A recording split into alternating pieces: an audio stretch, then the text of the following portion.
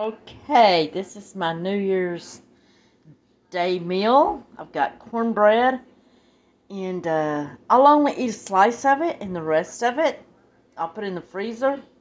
And if I want a pan of dressing or something, I'll have it.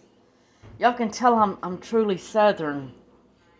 I'm double Southern because uh, I was actually born in Kentucky raised most of my life in Texas and then back to Kentucky, so I'm double Southern.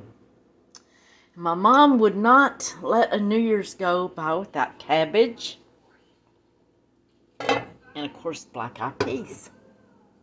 Now, I kind of cheated on the black eyed peas because I could not find any none here, any in Kentucky.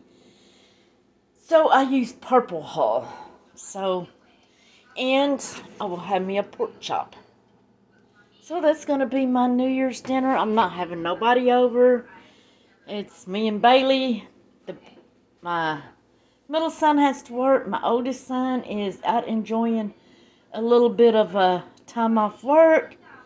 And of course, my youngest is in Italy today. So that's going to be my my lunch, dinner.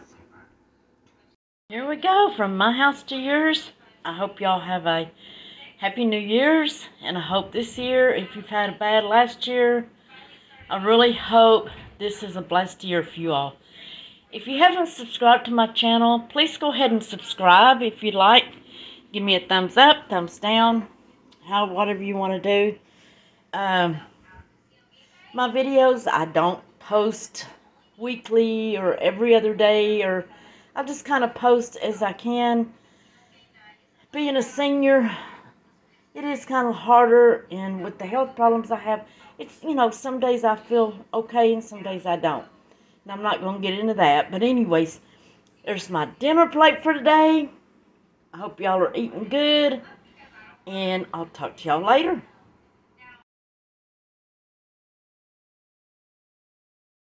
Okay, one more thing. I wanted to throw in there that everything that I cooked today did not cost me anything.